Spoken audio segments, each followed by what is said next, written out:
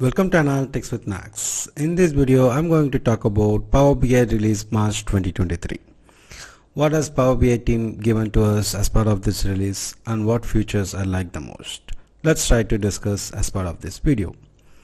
This channel contains a free content with 1050 US dollars or 100,000 INR. Please utilize this free content and share this channel with friends and colleagues. That covers SQL Server, MSBI and Power BI predominantly. Let's try to jump into our today's topic. That is Power BI release March 2023. Power BI started with uh, some disclaimer. The I mean this release basically uh, they will stop supporting Windows 8.1. Um, uh, basically, it, it ended actually. So it is uh, Power BI desktop will not support in Windows 8.1 so it's time for you to upgrade to Windows 10 or newer version.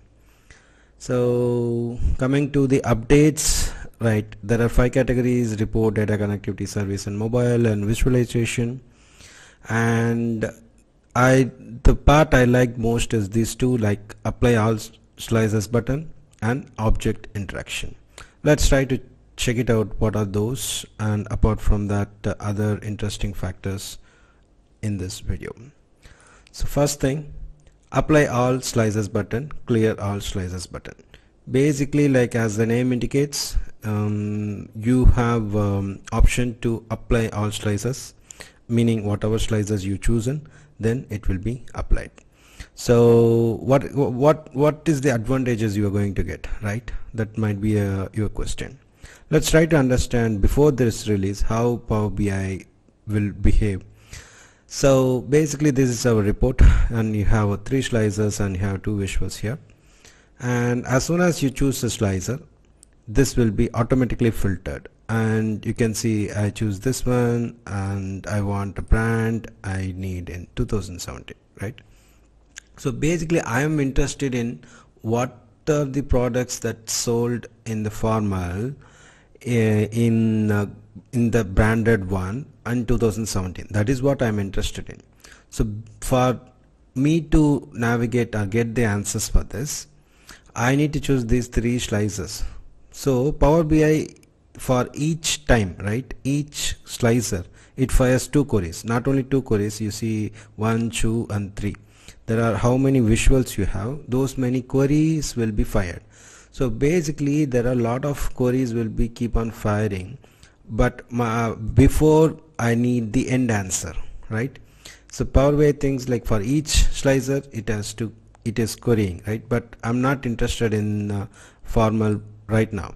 I am not interested in brand also. I'm interested in all these combinations so whatever I have in mind let me apply those filters. Then I choose apply filters. Then you give me the results. So this will definitely reduce the query reductions so obviously in turn it, it may improve the costing as well.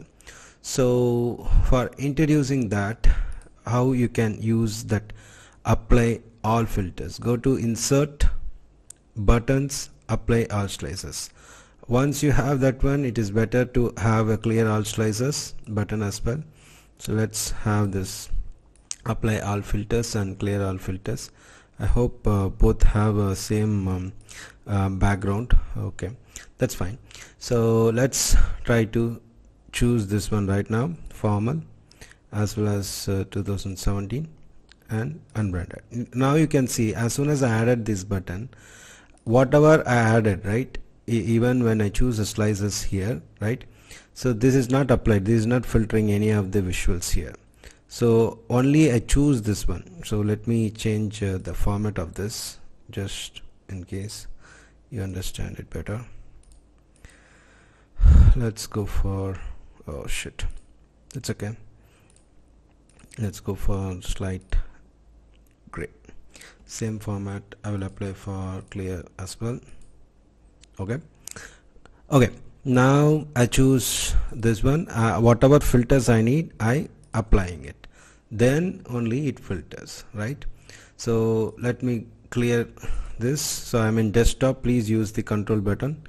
So right now you can see I want only this to be applied now. So I can still click on apply slices whatever I want. So so this will enable the query reduction unnecessary querying uh, um, if you are uh, not interested to um, for um, your analysis right? So this is the issue or um, uh, what you call uh, behavior till now in Power BI but this will change the game right? You can apply the filters whenever you require. This will reduce the queries. So this is what all about the point number one and um, so you can see this query reductions all of the steps. And format pane it's no styling. There is some blurred uh, options appeared earlier. They improved it somewhat uh, bolder or some borders over here. That is what they mentioned this is another interesting factor. This will altogether will change how you uh, um, worked on in Power BI desktop till now right so basically uh, those who worked in Power BI when you want to create a new report let's say you want to create this one you need to drag and drop um, visual first and then you go to um, any of these uh, columns right? Category then you drag and drop the sales amount. So basically you need to go to and forth here and you need to change any of the in order to change the names over here. Channel sales uh, category name uh, here you need to change. You cannot change it. You cannot when you double click it that it doesn't changes you need to go to format pane you need to change the axis table label something. Everything you need to know the basically about um, the properties. It should be a title. This is the x-axis label. And this is the this you cannot change but this is the labels. You can have some formatting. So all other things you have to change it in the formatting pane instead of that I can double click on the same visual I need to change. That is what this an object interaction. So how to do it? This is in preview future. Let's go and um, enable this. Then we'll come back to that. So options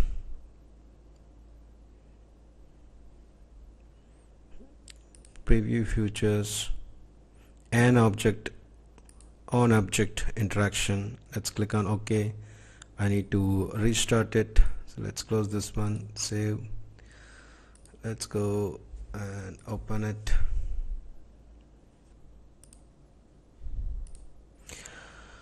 Okay it's open now. And um, now we have saved it now you can see uh, the new way of um, reporting here. You can see from uh, if I click on new tab you can see visual gallery. All the uh, charts appear here. There is no format pane and the visualization pane. How you can build here is visual gallery. Let's try to draw the same visual here. Now you can see you can add from within that visual.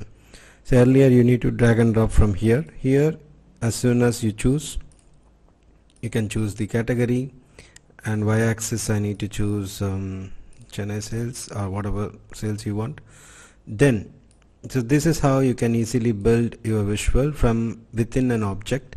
Then I can able to change these names right? You can change um, total sales sorry. Yeah you got it what I'm trying to convey here. So even I can change this uh, x-axis uh, label like category.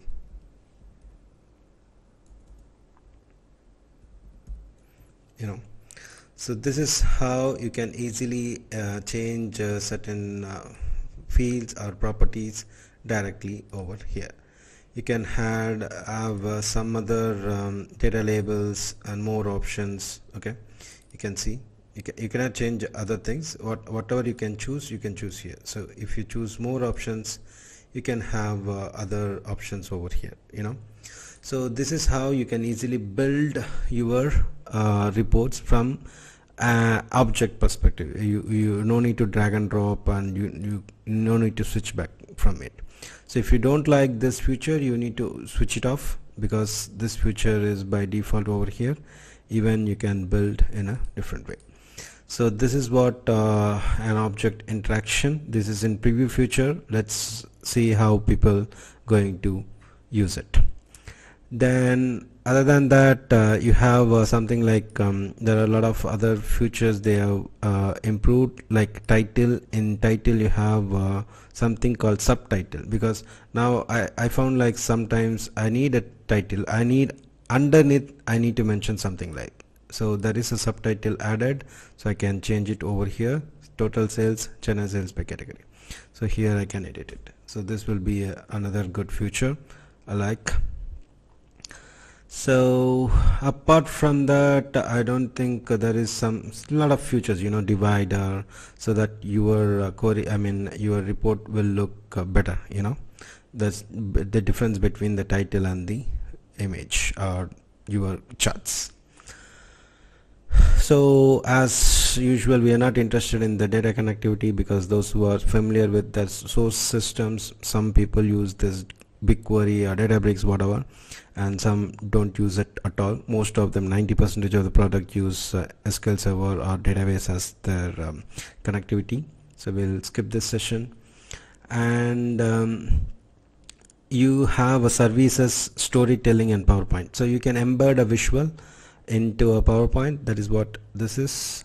And other than that uh, you have uh, some interesting features. Here email subscription from the uh, what do you call uh, this one is for the scorecards. So e subscription is there earlier for the reports.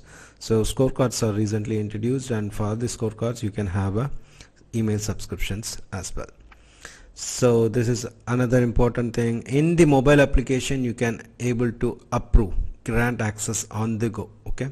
So this is another um, important feature that's it. So if you like this video hit the thumbs up button and comment below for